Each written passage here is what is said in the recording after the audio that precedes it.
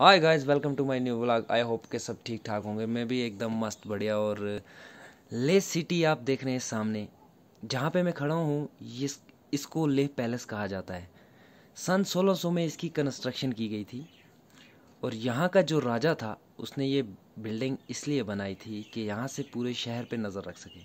उसको पूरा शहर सामने नज़र आना चाहिए था, इसलिए उसने बनाई थी। ये नाइन मंजिल बिल्डिंग है।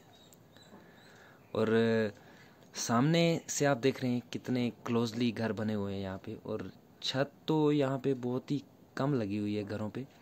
ज़्यादातर आपको सामने दिख ही रहा है कि कैसे हैं, कैसे नहीं। वो सामने जो आपको दिख रही है, मैं थोड़ा जूम करके दिखाता हूँ।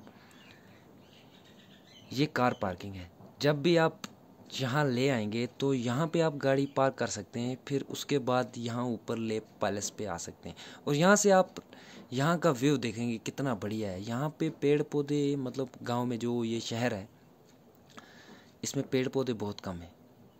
पहाड़ों